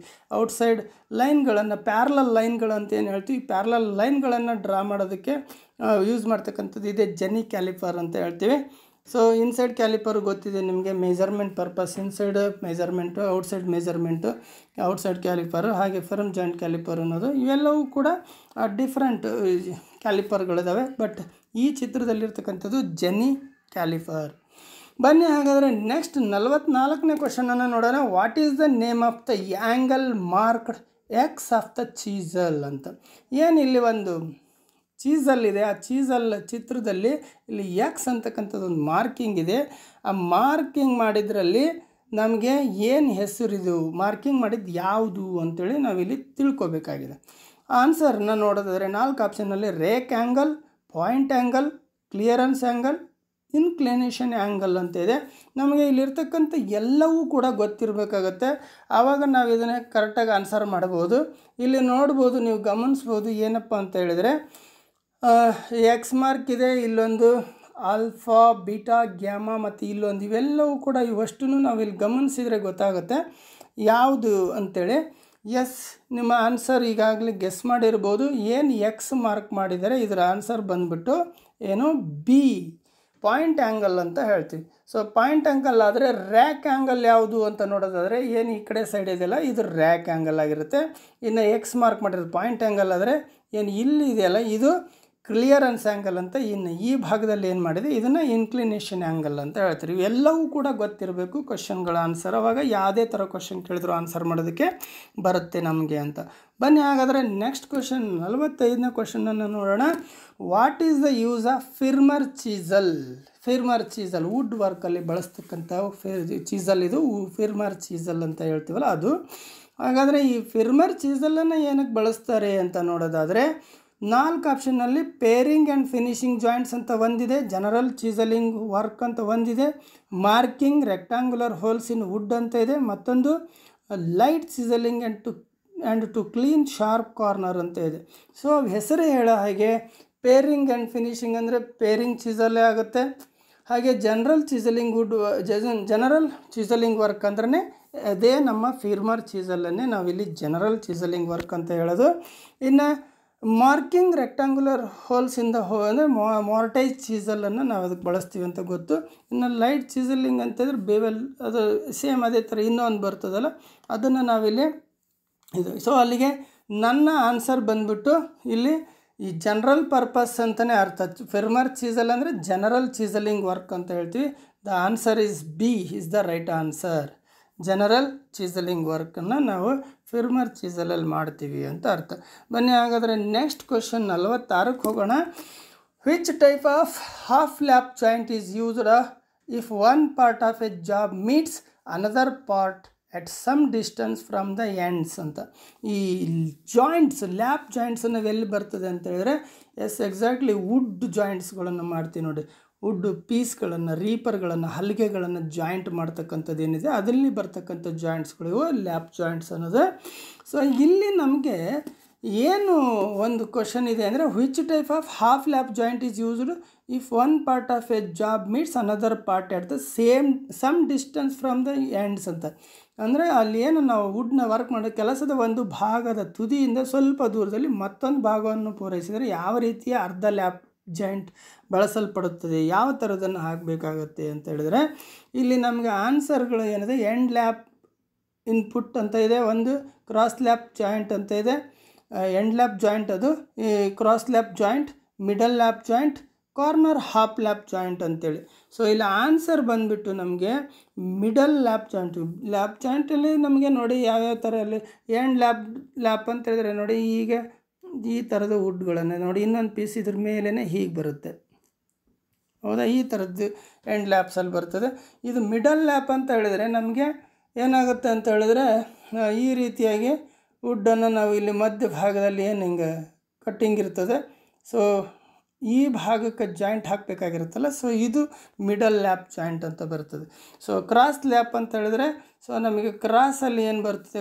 ಕ್ರಾಸಾಗಿ ಕಟ್ ಮಾಡಿ ಜಾಯಿಂಟ್ ಮಾಡ್ತಕ್ಕಂಥದ್ದು ಅದಾಗಿರುತ್ತೆ. ಹೀಗೆ ಡಿಫ್ರೆಂಟ್ ಲ್ಯಾಪ್ ಜಾಯಿಂಟ್ಗಳು ನಮ್ಮ ವುಡ್ ಜಾಯಿಂಟ್ಸಲ್ಲಿ ವುಡನ್ ಲ್ಯಾಪ್ ಜಾಯಿಂಟ್ಸಲ್ಲಿ ಬರ್ತಕ್ಕಂಥದ್ದು ಅದರಲ್ಲಿ ಬರೋದು. ಇಲ್ಲಿ ಏನಿದೆ? ಇದನ್ನು middle lap joint answer is uh C middle lap joint ಅಂತ ಹೇಳ್ತೀವಿ. ದೆನ್ ಬನ್ನಿ ಹಾಗಾದರೆ ನಲವತ್ತೇಳನೇ ಕ್ವಶನನ್ನು ನೋಡೋಣ. Which type of notch is used for making a metal tray with ninety degree bend and an inside flange ಅಂತ ಹೇಳ್ತೇವೆ. ಅಂದರೆ ಇದು ಬಂದುಬಿಟ್ಟು ಎಲ್ಲಿ ಬರ್ತದೆ? ನಮ್ಮ ಸೀಟ್ ಮೆಟಾಲ್ ವರ್ಕಲ್ಲಿ ಬರುತ್ತೆ. ಸೀಟ್ ಮೆಟಾಲ್ ವರ್ಕ್ ತಗಡು ಅಂತ ಏನು ಹೇಳ್ತೀವಿ? ಅದು ಸೀಟ್ ಮೆಟಾಲ್ ವರ್ಕಲ್ಲಿ ನೈಂಟಿ ಡಿಗ್ರಿ ಬೆಂಡ್ ಮಾಡೋದು. ಅಂದರೆ ಒಂದು ಸೀಟನ್ನು ತಗಡನ್ನ ತೊಗೊಂಡು ಹೀಗೆ ನೈಂಟಿ ಡಿಗ್ರಿ ಬೆಂಡ್ ಮಾಡಬೇಕು ಅಂತ ಹೇಳಿದರೆ ನಾವೇನು ಮಾಡ್ತೀವಿ? ಅಲ್ಲಿ which type of notches use notches type different types of notches ಬರ್ತದೆ. ನಾಚಸ್ ಅಂತ ಹೇಳಿದ್ರೆ ಇಲ್ಲಿ ನಾನು ನಿಮಗೆ ಸಿಂಪಲ್ಲಾಗಿ ಹೇಳಬೇಕು. ಅಂದರೆ ಸೊ ಇಲ್ಲಿ, ಇಲ್ಲಿಗೆ ನಾನು ಬೆಂಡ್ ಮಾಡಬೇಕು ಅಂತ ಹೇಳಿದರೆ ನೈಂಟಿ ಡಿಗ್ರಿಗೆ, ಈ ಕಡೆ ಫಾರ್ಟಿ ಫೈವ್ ಡಿಗ್ರಿ, ಈ ಕಡೆ ಫಾರ್ಟಿ ಫೈವ್ ಡಿಗ್ರಿಗೆ ಈ ಮೆಟಲನ್ನು ಕಟ್ ಮಾಡಬೇಕಾಗತ್ತೆ. ಆವಾಗ ಅದನ್ನು ಬೆಂಡ್ ಮಾಡಿದರೆ ನನಗೇನಾಗುತ್ತೆ? ಈ ರೀತಿ ನೈಂಟಿ ಡಿಗ್ರಿನಲ್ಲಿ ಅದನ್ನು ಬೆಂಡ್ ಮಾಡೋದಕ್ಕೆ ಬರುತ್ತೆ ಅಂತ. ಸೊ ಹಾಗಾಗಿ ಅದನ್ನು ಏನು ನಾನು ಇಲ್ಲಿ ಇದನ್ನು ಹೇಳಿದೆ, ಇದನ್ನು ವಿ ನಾಚ್ ಅಂತ ಹೇಳ್ತೀವಿ. ಸೊ ಈ ಈ ಈ ಭಾಗ ಏನಿದೆ? ಈ ಕಡೆ ಫಾರ್ಟಿ ಫೈವ್ ಈ ಕಡೆ ಫಾರ್ಟಿ ಫೈವ್ ಇಲ್ಲಿ ಶೇಪ್ ಏನಿದೆ? ಇದು ವಿ ಶೇಪ್ ಅಂತಲ್ಲ? ಅದಕ್ಕೋಸ್ಕರ ನಾವು ಅದನ್ನು ವಿ ನಾಚ್ ಅಂತ ಹೇಳ್ತೀವಿ. The answer is A V notch slant notch square notch straight notch ಅಂತ ಏನಿದ್ದಾವೆ ಅದರಲ್ಲಿ ವಿ ನಾಚ್ ಅನ್ನೋದು ಕೂಡ ನಮಗಿಲ್ಲಿ ಆನ್ಸರ್ ಆಗಿದೆ. ಸೊ ಆನ್ಸರ್ ಈಸ್ ಎ ಅಂತ ಹೇಳ್ತೀವಿ. ವಿ ನಾಚ್ ಅಂತ. ವಿ ನಾಚನ್ನು ನಾವು ಬಳಸಿದರೆ ನಾವು ಒಂದು ಸೀಟ್ ಮೆಟಲನ್ನು ನಾವೇನು ಮಾಡ್ಬೋದು, ನೈಂಟಿ ಡಿಗ್ರಿನಲ್ಲಿ ಬೆಂಡ್ ಮಾಡೋದಕ್ಕೆ ಬರ್ತದೆ ವಿ ನಾಚ್ ಮಾಡಿಕೊಂಡು ನೈಂಟಿ ಡಿಗ್ರಿನಲ್ಲಿ ಸೀಟ್ ಮೆಟಲನ್ನು ಬೆಂಡ್ ಮಾಡ್ಬೋದು ಅಂತ ಅದರ ಅರ್ಥ. ಬನ್ನಿ ಹಾಗಾದರೆ ನಲವತ್ತೆಂಟನೇ ಕ್ವಶನನ್ನು ನೋಡೋಣ. What is the purpose of hemp folding in sheet metal work hemp ಅಂತ ಹೇಳಿದ್ರೆ ನಮಗೆ ಏನು ಈ ಶೀಟ್ ಮೆಟಲ್ ವರ್ಕ್ ಇರುತ್ತೆ ತಗಡಿಂದು, ಸಾಮಾನ್ಯವಾಗಿ ಅದರ ಎಡ್ಜ್ಗಳನ್ನು ಸಿಂಗಲ್ ಫೋಲ್ಡ್ ಅಥವಾ ಡಬಲ್ ಫೋಲ್ಡ್ ಆಗಿ ಮಡಚಿರ್ತಾರೆ ಎಡ್ಜ್ಗಳಲ್ಲಿ. ಆ ತುದಿ ಅಂತ ಏನು ಹೇಳ್ತಾರೆ, ಎಡ್ಜ್ಗಳು ಅಂತ ಏನು ಹೇಳ್ತೀವಿ, ಅದನ್ನು ಕಂಠದಲ್ಲಿ ಅಂತ ಹೇಳ್ತೀವಿ, ಕಂಠ ಅಂತ. ಈಗ ಸಾಮಾನ್ಯವಾಗಿ ಕೆಲವೊಂದು ಊಟದ ತಟ್ಟೆಗಳು ಶಾರ್ಪ್ ಇರ್ತವೆ, ಕೆಲವೊಂದು ಊಟದ ತಟ್ಟೆಗಳಲ್ಲಿ ಹಿಂಗೆ ಬೆಂಡ್ ಮಾಡಿರ್ತಾರೆ, ಎಡ್ಜನ್ನು ಬೆಂಡ್ ಮಾಡಿರ್ತಾರೆ. ಸೊ ಹಾಗೆ ಇಲ್ಲಿ ನಾವು what is the purpose of hemp I ಹೆಂಪನ್ನು ಮಾಡೋದಕ್ಕೆ ಕಾರಣ ಏನಿಲ್ಲಿ ಅಂತ ಹೇಳ್ಬಿಟ್ಟು ಕೇಳ್ತಾರೆ. Hemp in sheet metal work ಸಿಂಪ್ sheet metal ವರ್ಕಲ್ಲಿ ಹೆಂಪ್ ಹೆಮ್ ಮಾಡೋದಕ್ಕೆ ಏನು ಕಾರಣ ಅಂತ? ಅಂದರೆ ಆ ಹೆಮ್ ಯಾಕೆ ಮಾಡ್ತೇವೆ? ಅಂದರೆ ಆ ಹೆಮ್ ಅಂದ್ರೆ ಅದೇನೇ ಅದು ಎಡ್ಜಿಂಗಲ್ಲಿ ಆ ಶೀಟನ್ನು ಸಿಂಗಲ್ ಫೋಲ್ಡಿಂಗ್ ಅಥವಾ single folding hem, double folding hem ಅಂತ ಎರಡು ಥರನೂ ಇದೆ ಅದು. ಆ ಸಿಂಗಲ್ ಫೋಲ್ಡ್ ಆದರೂ ಮಾಡ್ತಾರೆ ಅಥವಾ ಡಬಲ್ ಫೋಲ್ಡ್ ಆದರೂ ಮಾಡ್ತಾರಲ್ಲ, ಆ ಹೆಮ್ಮನ್ನು ಮಾಡೋದರಿಂದ ಏನಾಗುತ್ತೆ, ಏನು ಕಾರಣ ಅಂತ ಹೇಳಿದರೆ, ದ ಆನ್ಸರ್ ಈಸ್ ಏನು ಅಂತ ನೋಡೋಣ. First, helps for forming a square box ಅಂತಾರೆ. ಸ್ಕ್ವೇರ್ ಬಾಕ್ಸ್ ಮಾಡೋದಕ್ಕೆ ಬರುತ್ತೆ ಆನ್ಸರು. ಇದು ಹೌದು ಅಲ್ಲ ಅಂತ ನೀವೇ ಗೆಸ್ ಮಾಡಬೇಕಾಗತ್ತೆ. Helps for bending sheet metal. Easily ಅಂತ. ಶೀಟ್ ಮೆಟಲ್ನ ಈಜಿಯಾಗಿ ಬೆಂಡ್ ಮಾಡೋದಕ್ಕೆ ಅಂತಾರೆ. ಹೌದಲ್ಲ ಅಂತ ಗೆಸ್ ಮಾಡಿ. Prevents burrs forming after cutting. Cutting ಮಾಡಿದಾಗ ಸಾಮಾನ್ಯವಾಗಿ ಅಲ್ಲಿ ಬರ್ಸ್ ಅಂತ ಆಗ್ತದೆ. ಅಂದರೆ ಶಾರ್ಪ್ ಶಾರ್ಪ್ ಎಡ್ಜ್ಗಳು ಕ್ರಿಯೇಟ್ ಆಗ್ತಾವಲ್ಲ ಅದಕ್ಕೆ ಅಂತಾರೆ. ಮತ್ತೊಂದು ಆನ್ಸರ್ ಬಂದು prevent the sheet from damage. Yes, exactly ಇದು ಆನ್ಸರ್ ಇಸ್ ಡಿ ಅಂತ ಹೇಳ್ತೀವಿ. Prevent the sheet from the damage ಯಾಕೆ ಅಂತ ಹೇಳಿದರೆ, ಸಾಮಾನ್ಯವಾಗಿ ಆ ಎಡ್ಜ್ ಹಾಗೆ ಬಿಟ್ಟರೆ ಅದು ನಾವು ಕಟ್ ಆಗೋ ಸಾಧ್ಯ ಇರ್ತಾ ಆಗುತ್ತೆ. ಈಸಿಯಾಗಿ ಕಟ್ ಆಗುತ್ತೆ. ಅದಕ್ಕೆ ಸ್ಟ್ರೆಂಥನ್ ಇರೋದಿಲ್ಲ. ಹಾಗಾಗಿ ಡ್ಯಾಮೇಜ್ ಆಗ್ತದೆ. ಅದೇ ನಾವು ಅದನ್ನು ಹೆಮ್ ಮಾಡಿದರೆ, ಒಂದು ಸಿಂಗಲ್ ಫೋಲ್ಡ್ ಅಥವಾ ಡಬಲ್ ಫೋಲ್ಡ್ ಮಾಡಿದರೆ ಅದಕ್ಕೊಂದು ಸ್ಟ್ರೆಂಥನ್ ಬರ್ತದೆ. ಸಿಂಗಲ್ ಫೋಲ್ಡ್ ಯಾವಾಗ ಮಾಡ್ತೀವಿ? ಲೆಂತಿ ಕಡಿಮೆ ಇದ್ದ ಸಿಂಗಲ್ ಫೋಲ್ಡ್ ಮಾಡ್ತೀವಿ. ಲೆಂತ್ ಜಾಸ್ತಿ ಇದ್ದಾಗ ಅದನ್ನು ಡಬಲ್ ಫೋಲ್ಡಿಂಗ್ ಮಾಡ್ತೀವಿ. ಅದನ್ನು hem double folding hem single folding hem ಅಂತಲೇ ಹೇಳ್ತೀವಿ. ಈ ಮೇನ್ ಅಂತ ಹೇಳಿದ್ರೆ ಇದನ್ನು ಮಾಡೋಕ್ಕೆ ಕಾರಣ prevents the sheet from damage damage ಆಗಬಾರ್ದು ಶೀಟ್ಗಳು ಎಡ್ಜ್ ಅನ್ನೋದಕ್ಕೋಸ್ಕರನೇ ಅದನ್ನು ಫೋಲ್ಡ್ ಮಾಡಿ ಅದಕ್ಕೊಂದು ಸ್ಟ್ರೆಂತನ್ನು ಕೊಡ್ತಕ್ಕಂಥ ಕೆಲಸ ಮಾಡಿದ್ರೆ ಹೆಮ್ ಅಂತ ಹೇಳ್ತೀವಿ. ಬನ್ನಿ ಹಾಗಾದರೆ ನೆಕ್ಸ್ಟ್ ಕ್ವಶನನ್ನು ನೋಡೋಣ. ನಲ್ವತ್ತೊಂಬತ್ತನೇದು. Which defect in the timber is caused to reduce its strength again ಮತ್ತೆ ಮರದ ಮೇಲೆ ಬರ್ತದೆ ಟಿಂಬರ್ ಮೇಲೆ ಒಂದು ಕ್ವಶನ್ ಬರ್ತದೆ. ಏನಪ್ಪ ಅಂತ ಹೇಳಿದ್ರೆ ರೆಡ್ಯೂಸ್ ಇಟ್ ಸ್ಟ್ರೆಂತ್ ಸ್ಟ್ರೆಂತನ್ನು ಕಡಿಮೆ ಆಗೋದು ಯಾವಾಗ, ಯಾವ ಕಾರಣದಿಂದ ಸ್ಟ್ರೆಂತ್ ಕಡಿಮೆ ಆಗುತ್ತೆ ವುಡ್ಡಲ್ಲಿ ಟಿಂಬರಲ್ಲಿ ಅಂತ ಹೇಳ್ತದೆ. ಸೊ ಹಾಗಾದರೆ ಆನ್ಸರ್ನ ನೋಡೋದಾದರೆ ನಾಲ್ಕು ಆಪ್ಷನ್ನಲ್ಲಿ ಒಂದು ಟ್ವಿಸ್ಟಿಂಗ್ ಇದೆ, ಒಂದು ಕಪ್ಪಿಂಗ್ ಇದೆ ಕ್ರ್ಯಾಕಿಂಗ್ ಇದೆ ಇರ್ರೆಗ್ಯುಲಾರಿಟಿ ಇದೆ. ಟ್ವಿಸ್ಟಿಂಗ್ ಅಂದರೆ ಏನಂತ ಗೊತ್ತಾಗಿದೆ ನಿಮಗೆ? ಕಪ್ಪಿಂಗ್ ಅಂದರೆ ಗೊತ್ತಿದೆ ಕ್ರ್ಯಾಕಿಂಗ್ ಅಂದರೆ ಗೊತ್ತು ಇರ್ರೆಗ್ಯುಲಾರಿಟಿ ಸೊ ಇಲ್ಲಿ ಈ ಒಂದು ಸ್ಟ್ರೆಂತನ್ನು ರೆಡ್ಯೂಸ್ಡ್ ಸ್ಟ್ರೆಂತನ್ನು ಟಿಂಬರಲ್ಲಿ ಬರೋದಕ್ಕೆ ಕಾರಣ ಅಂದರೆ ಡಿ ಆನ್ಸರ್ ಇರ್ರೆಗ್ಯುಲ್ಯಾರಿಟಿ ಅಂತ ಹೇಳ್ತೀವಿ. ಗ್ರೌತ್ ಇನ್ ಇರ್ರೆಗ್ಯುಲ್ಯಾರಿಟಿ ಅಂತ ಹೇಳ್ತೇವಲ್ಲ? ಅದು ಕಾರಣ ಆಗಿದೆ. ಅಲ್ಲಿ ಆ ಕಾರಣದಿಂದನೇ ಈ ಒಂದು ವುಡ್ಡಿಗೆ ಸ್ಟ್ರೆಂತ್ ರೆಡ್ಯೂಸ್ ಆಗೋದಕ್ಕೆ, ಕಡಿಮೆ ಆಗೋದಕ್ಕೆ ಕಾರಣ ಆಗಿದೆ. So that answer is D ರೆಗ್ಯುಲ irregularity ಅಂತ ಹೇಳ್ತೀವಿ. ಸೊ ಬನ್ನಿ ಹಾಗಾದರೆ ನೆಕ್ಸ್ಟ್ ಐವತ್ತನೇ ಕ್ವಶನನ್ನು ನೋಡೋಣ. What is the name of the hammer ಏನು ನಮ್ಮ ಕಣ್ಣು ಮುಂದೆ ಒಂದು ಚಿತ್ರ ಕಾಣ್ತಾ ಇದೆ. ಈ ಚಿತ್ರದಲ್ಲಿ ಕಾಣ್ತಕ್ಕಂಥ ಹ್ಯಾಮರ್ನ ಹೆಸರನ್ನು ಹೇಳಿ ಅಂತ ಹೇಳ್ತಾರೆ. ಹಾಗಾದರೆ ನೀವು ಈಗ ಆಲ್ರೆಡಿ ನಿಮಗೆ ಈ ಹ್ಯಾಮರ್ ಏನು ಅಂತ ಗೊತ್ತಾಗಿದೆ ಅಂದ್ಕೊಳ್ತೀನಿ ಆಪ್ಷನ್ಸ್ ಬಂದು claw hammer ball pin hammer cross pin hammer straight pin hammer ನಿಮಗೆ ಕ್ಲಾ ಹ್ಯಾಮರು ಗೊತ್ತು ಬಾಲ್ ಪಿನ್ ಹ್ಯಾಮರ್ ಶೇಪ್ ಹೇಗಿರುತ್ತೆ ಗೊತ್ತು ಹೆಡ್ಡಲ್ಲಿ ಸೊ ಎಲ್ಲವೂ ಕೂಡ ನಾವಿಲ್ಲಿ ಶೇಪ್ ಆಫ್ ದ ಹೆಡ್ ಏನು ಶ ಹೆಡ್ನ ರಚನೆ ಇದೆ, ಇದ್ರ ಬೇಸ್ ಮೇಲೆ ನಾವು ಹೇಳ್ತಕ್ಕಂಥದ್ದು. ಸೊ, ಬಾಲ್ ಪಿನ್ ಅಂದರೆ ಬಾಲಾಗೆ ಇರುತ್ತೆ ಹೆಡ್ಡಲ್ಲಿ ಬಾಲ್ ಇರ್ತದೆ, ಕ್ರಾಸ್ ಪಿನ್ನಲ್ಲಿ ಕ್ರಾಸ್ ಇರ್ತದೆ ಹೆಡ್ಡಲ್ಲಿ ಸೊ, ಹಾಗೆ ಸ್ಟ್ರೈಟ್ ಪಿನ್ನಲ್ಲಿ ಸ್ಟ್ರೈಟ್ ಇರುತ್ತೆ ಅಂತ ಗೊತ್ತು. ಸೊ, ಹಾಗಾದರೆ answer is A, claw hammer ಅಂತ ಹೇಳ್ತೀವಿ. ಇದನ್ನು ಸಾಮಾನ್ಯವಾಗಿ ಈ ಕ್ಲಾ, ಈ ಈ ಪೋರ್ಷನ್ನಿಂದ ನಾವು ಏನು ಮಳೆಗಳಿರ್ತವೆ, ಅವನ್ನು ತೆಗೆದಕ್ಕೂ ಕೂಡ ಇದನ್ನು ಬಳಸ್ತೀವಿ ಅಂತ ನಿಮಗೆಲ್ಲ ಗೊತ್ತಿರೋದು. ಸೊ ಈ ಇದರೊಳಗಡೆ ಬರ್ತಕ್ಕಂಥದ್ದು the answer is a right answer ಅಂತಲೇ ಹೇಳ್ತೀವಿ. ದ ಕ್ಲಾ ಹ್ಯಾಮರ್ ಸೊ ಇಲ್ಲಿಗೆ ಐವತ್ತು ಕ್ವಶನ್ ಇಪ್ಪತ್ತೈದು, ಇಪ್ಪತ್ತಾರನೇ ಕ್ವಶನಿಂದ ಐವತ್ತನೇ ಕ್ವಶನ್ ಅಂದರೆ ಮತ್ತೆ ಇಪ್ಪತ್ತೈದು ಕ್ವಶನನ್ನು ನಾವು ಇವತ್ತು ಸಾಲ್ವ್ ಮಾಡಿದ್ದೀವಿ. ನೆಕ್ಸ್ಟ್ ಕ್ಲಾಸ್ನಲ್ಲಿ ಮತ್ತೆ ಒನ್ಸ್ ಅಗೇನ್ ನೆಕ್ಸ್ಟ್ ಸೆಷನ್ನಲ್ಲಿ ನಾವು ಐವತ್ತೊಂದರಿಂದ ಎಪ್ಪತ್ತೈದನೇ ಕ್ವಶನ್ವರೆಗೆ ನೋಡೋಣಂತೆ. ಅಲ್ಲಿವರೆಗೂ ಈಗ ಒಂದು ಐವತ್ತು ಕ್ವಶನ್ ಫಸ್ಟ್ ಸೆಷನ್ ಮತ್ತು ಸೆಕೆಂಡ್ ಸೆಷನ್ ಐವತ್ತು ಕ್ವಶನ್ಗಳನ್ನು ನೋಡ್ತಿ ಪ್ರಾಕ್ಟೀಸ್ ಮಾಡಿರಿ ಎಕ್ಸಾಮ್ಗೆ ವೆಲ್ ಪ್ರಿಪೇರ್ ಆಗಿ.